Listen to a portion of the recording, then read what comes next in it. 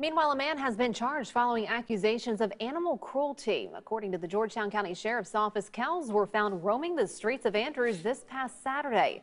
Three cows were also found dead in a pasture on Hardy Street, and others didn't have food or water.